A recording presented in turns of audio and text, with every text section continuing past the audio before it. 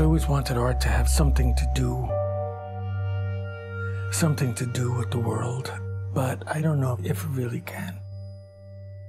I think you have to be doing stuff that deals with things of the world.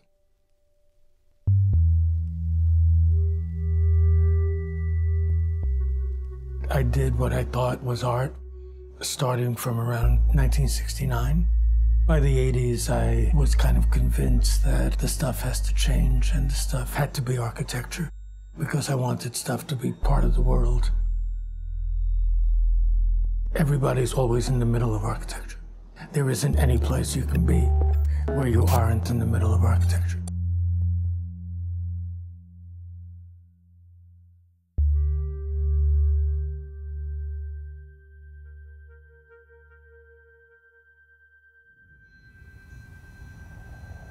I don't want places I make to stay the same.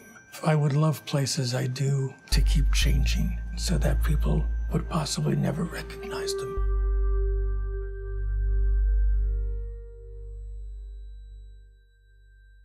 I'd like to be surprised when I go out on the street because if you live in a world that's constantly changing, you would probably have to have to adapt to the world.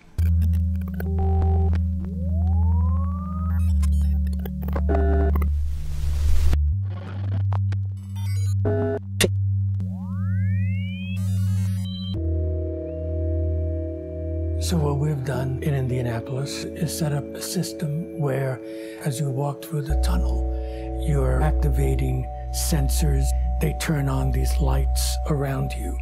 If another person is walking toward you, that person is also activating sensors. These lights start to mingle for a while until the persons go past each other.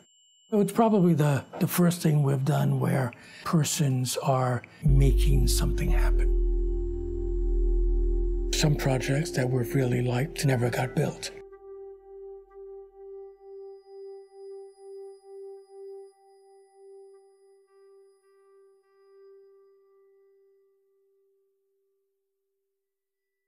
I don't even know if I can say that our goal is to have built projects.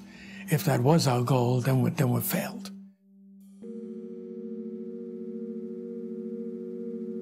But I think what unbuildable stuff leads to is maybe a possible re-examination, not so much of the past, but of what's, of what's to come.